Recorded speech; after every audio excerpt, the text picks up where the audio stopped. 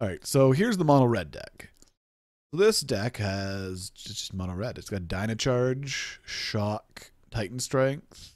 Um, what else? And Lightning Strike and Thunder Strike, I guess. It's got some. It's got some creatures. This.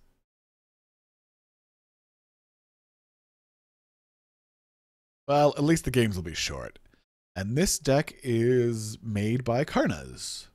Karnas. And obviously, when Monday comes, I will be playing some kind of deck. Probably not an exact copy of any list you've seen so far. Uh, let's just check out the sideboard.